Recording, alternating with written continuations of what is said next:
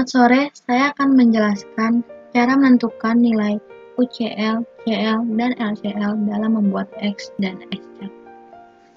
Pada tabel berikut sudah terdapat 5 sampel dengan 20 data yang bervariasi. Di samping, sem di samping tabel terdapat rumus X dan S chart untuk mempermudah kita dalam melakukan perhitungan.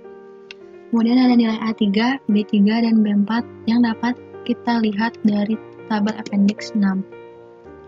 Karena sampelnya ada 5, sehingga nilai untuk A3 yaitu 1,427, B3 nilainya 0, sedangkan untuk B4 yaitu 2,089.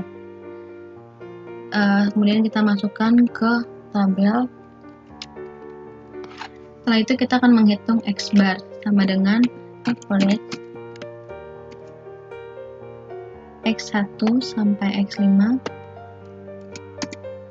kemudian kita copy sampai data ke-20 untuk S sama dengan std X1 sampai X5 kita copy lagi sampai data ke-20 kemudian kita akan menentukan nilai rata-rata dari X bar atau biasa disebut dengan X bar bar.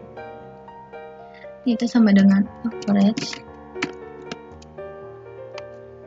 data ke 1 sampai data ke 20 langsung kita tarik saja untuk mendapatkan nilai S bar. Setelah itu kita akan menentukan UCL, CL, dan LCL dari X. Untuk UCL sama dengan X bar bar jangan lupa dikunci ditambah A3 dikali dengan S bar. Untuk CL sama dengan X bar saja. LCL sama dengan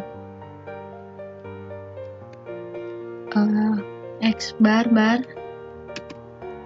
dikurang A3 dikali dengan S bar kemudian kita copy sampai data ke 20 kemudian untuk menentukan UCL pada S yaitu sama dengan S bar dikali dengan B4 untuk CL sama dengan S bar LCL sama dengan B3 dikali S bar. Kita tarik. Kemudian selanjutnya kita akan membuat grafik untuk X chart dan S chart. Uh, data yang dibutuhkan yaitu X bar. Di kontrol UCL, CL, dan LCL. Kemudian pilih Insert, Line, uh, yang pilih yang D 2D, kemudian grafik yang pertama. Akan terlampir seperti ini, kemudian kita, karena Windows saya 2010, sehingga saya melakukan secara manual.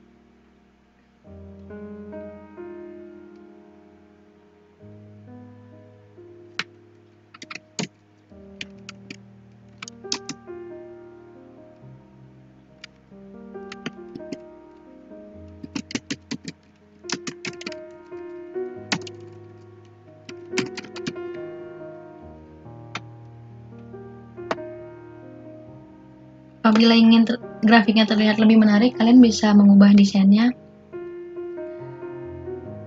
uh, dengan save file, save file atau sesuai dengan Windows kalian.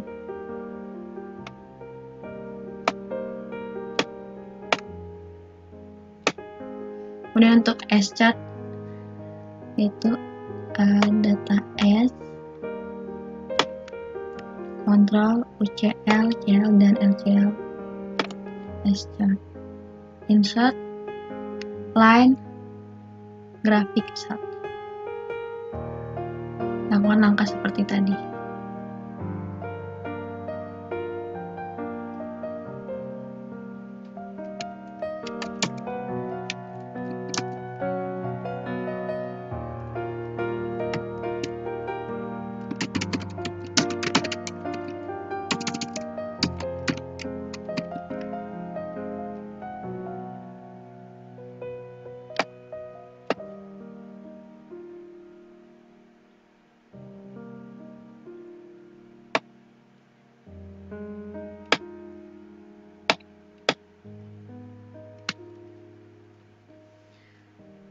sekian penjelasan dari saya. Terima kasih.